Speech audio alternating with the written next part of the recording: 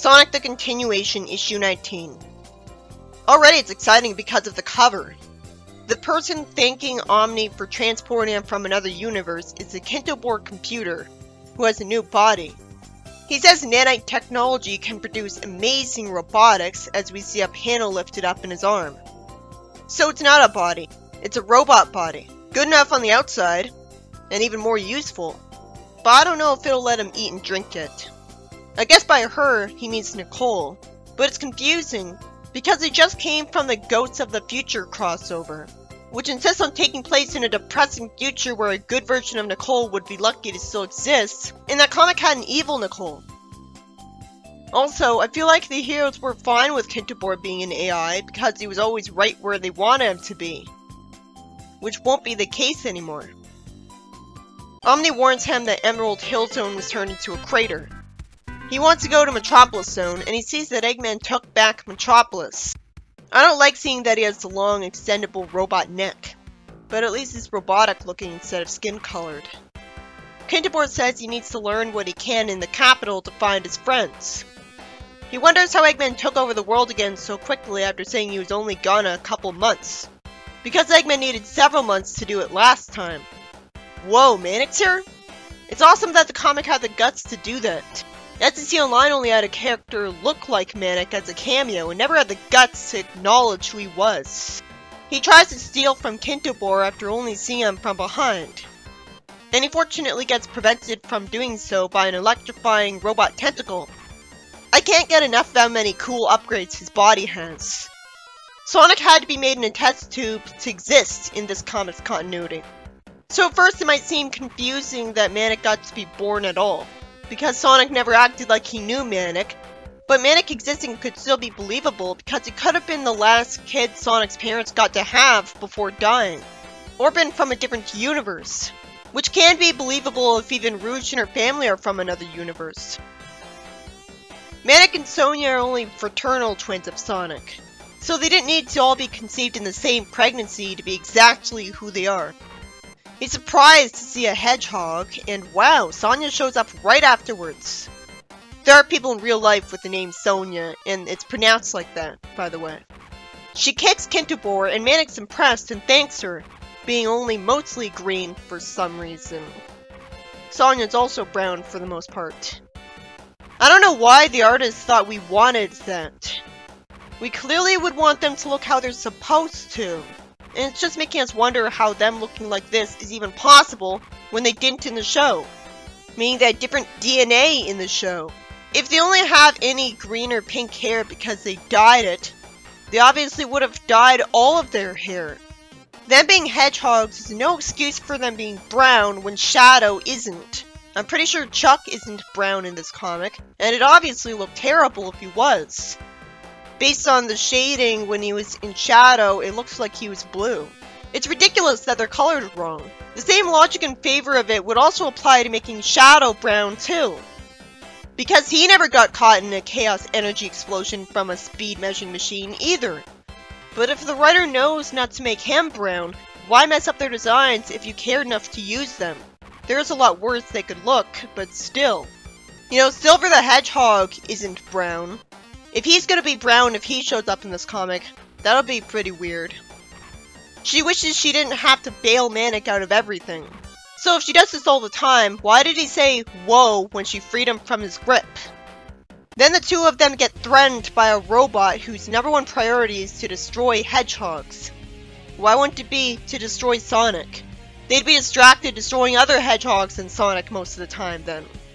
This combined with Kintobor being surprised that he's a hedgehog implies that hedgehogs are really rare.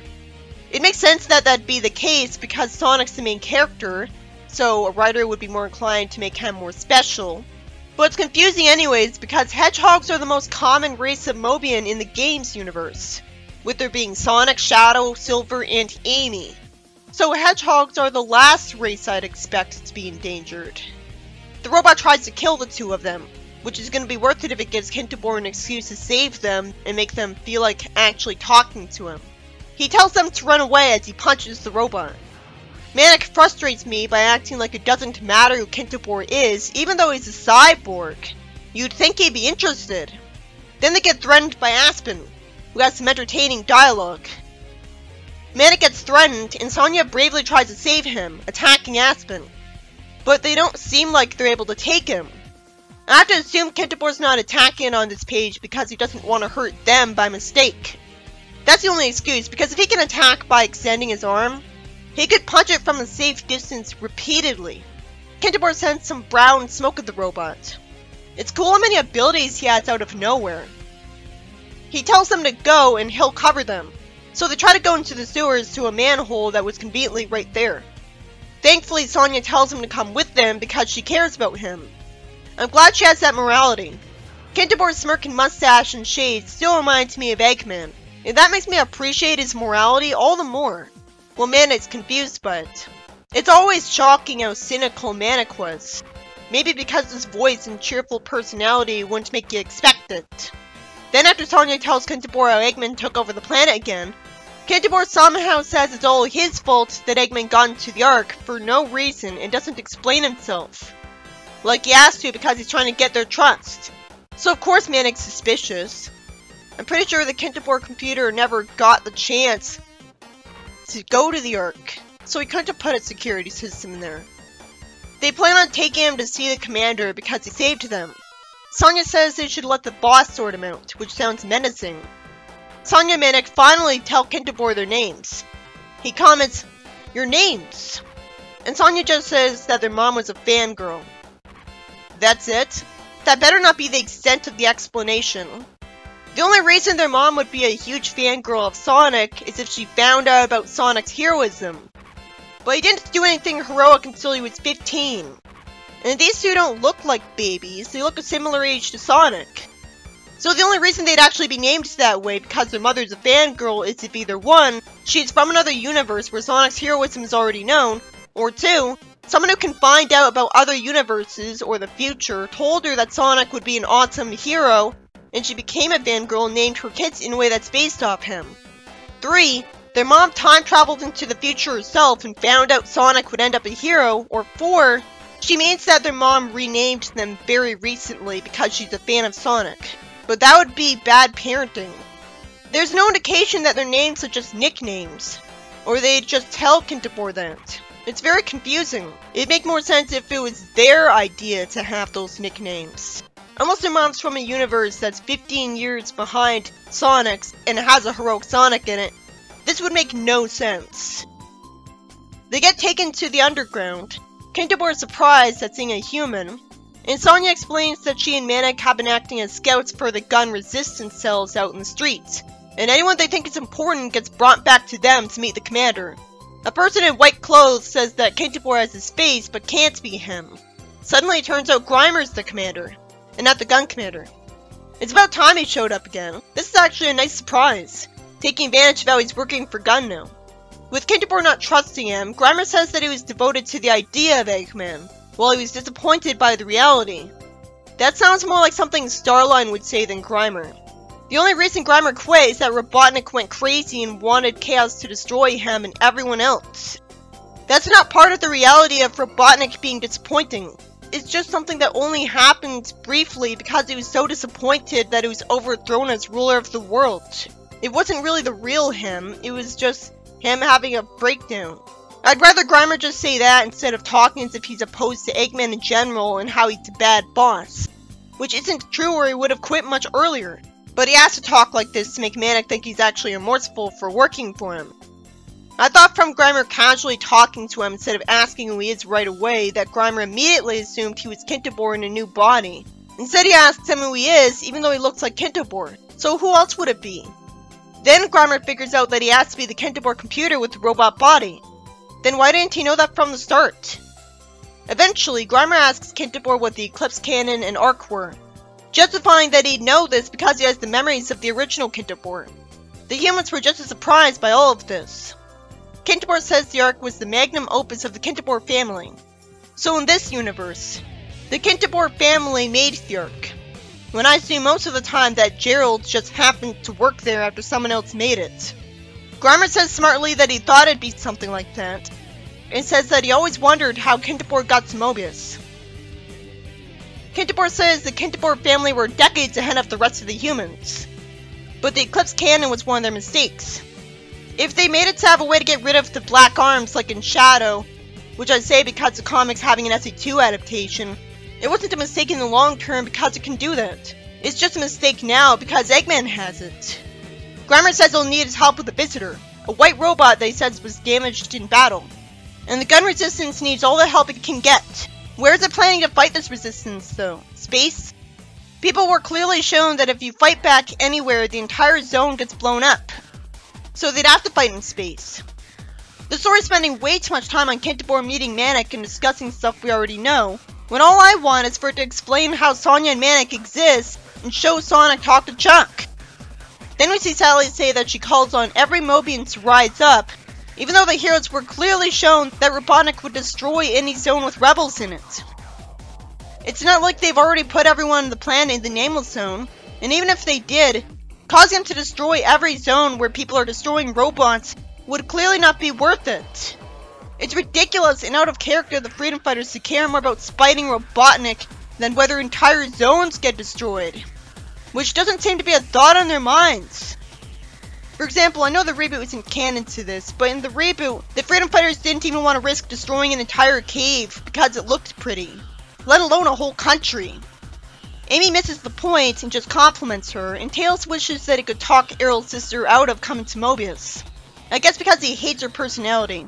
Because without that, it'd make no sense that he wouldn't want another capable fighter fighting for Mobius. I like that she wants to see Mobius for herself when it was Tails' idea to bring her there in SCC Online.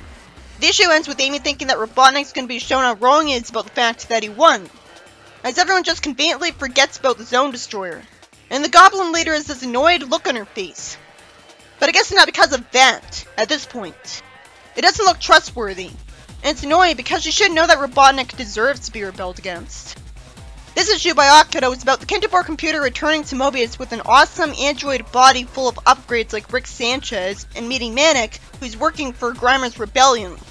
But the issue refuses to care about giving us information that's vital for this making sense. It refuses to explain how Kintobor got to Mobius like this. I assume it's thanks to Nicole, but because she's evil and goes to the future, I don't see how he would have gotten access to her nanotechnology at all. Did he reprogram her to be good? And it's confusing that Manic and Sonia exist. Because everyone knows they're Sonic's fraternal twins. And that they're the same age as Sonic. So obviously his parents would have to exist for them to. But in this comic, Sonic had to be made in a test tube. Implying that his mother wasn't around to give birth to or conceive him at that point. So these two would have to be older than him. At least by a year.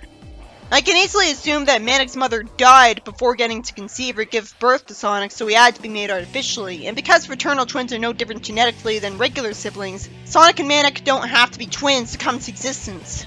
Or Manic and Sonia are from another universe or timeline, which would make a lot more sense, because unless their mother has access to someone who can see into the future, well, the Oracle Delphius from Sonic Underground could do that.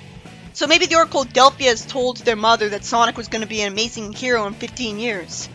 Other than her going to a future or another timeline, that's the only reason she would name Sonia and Manic the way they are, just because she's amazed by Sonic. It's also hard to understand why the artist thought we'd want to see Manic and Sonia with some brown fur, just because Sonic and Amy were born with brown fur and had to have it changed. Those are just two measly people, that's not enough to prove that all hedgehogs are that way and justify making them not look like they're supposed to, and almost defeat the point of the fan service. When you think the artists would know that if people want to see Sonia Manic, they want to see them looking right. It goes without saying that they need to be colored properly later. And that Chuck needs to be the right color. Or everyone's going to be baffled and disappointed.